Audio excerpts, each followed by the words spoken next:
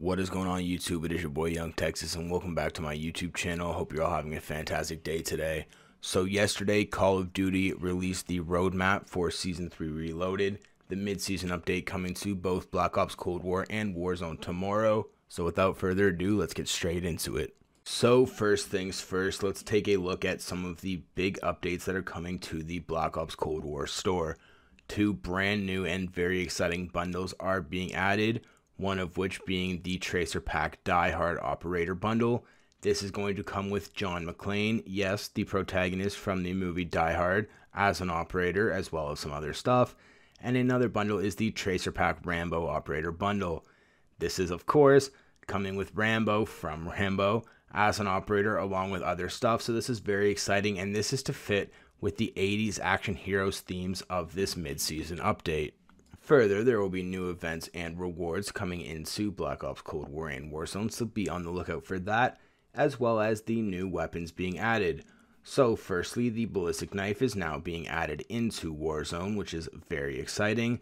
The baseball bat melee weapon is being added into Black Ops Cold War, and these are both going to be at launch of the mid-season update. And later on down the road, we will be seeing the introduction of the AMP-63 pistol, so this is very cool. This is the first new pistol we've seen added into the game since its launch over six months ago. So again, very, very exciting.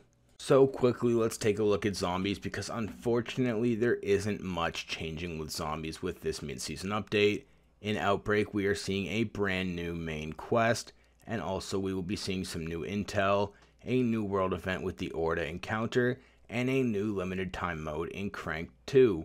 Now this is pretty exciting if you guys know what Cranked is from previous Call of Duties. It's the game where once you get a kill, a timer starts going down, and if that timer hits zero before you get your next kill, you do die.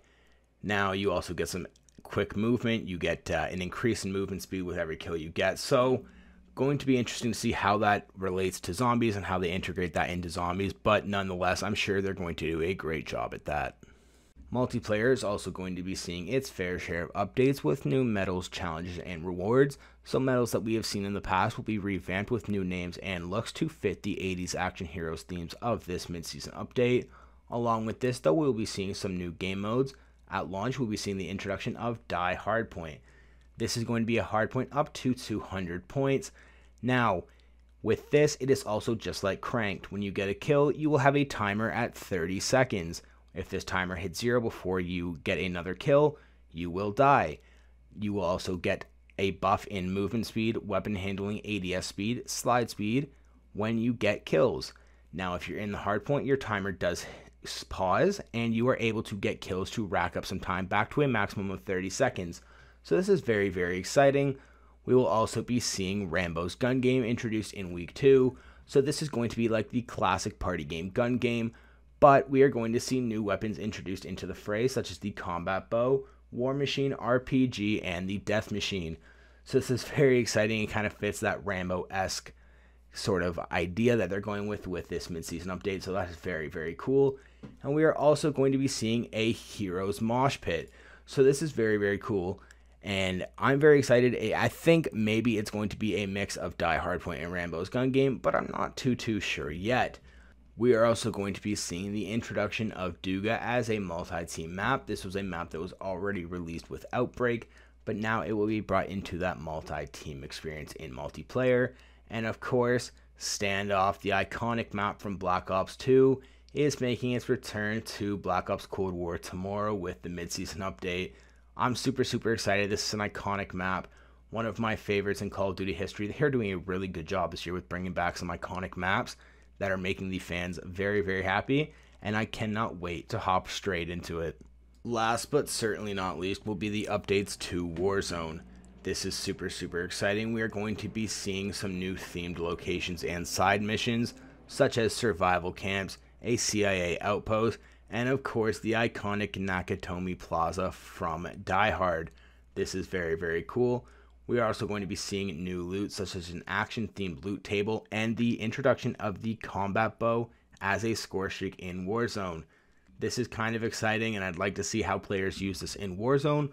Will it be used? Will it not? That is yet to be seen. But also, we will be seeing the introduction of a new limited time mode, Power Grab.